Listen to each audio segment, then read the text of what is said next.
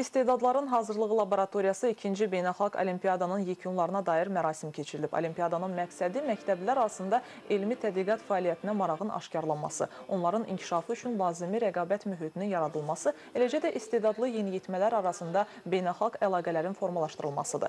Məlumat verilib ki, 2013-cü ildən başlayaraq hər il respublika səviyyəsində keçirilən Olimpiyadaya 2017-ci ildə beynəlxalq status verilib. İndiyədək e, müsabiqəyə 13 mindən artıq Azərbaycanlı yeniyetmə qatılıb.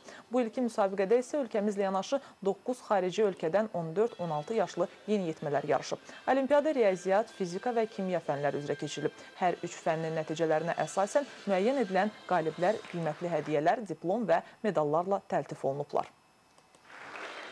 Əvvəlcə yerlərdə onlayn şəkildə e, gənclər, yeniyetmələr bu yarışmaya qatılır və ən güclülər final mərhələsinə, yəni artıq Bakıda keçirilən final mərhələsinə qatılırlar.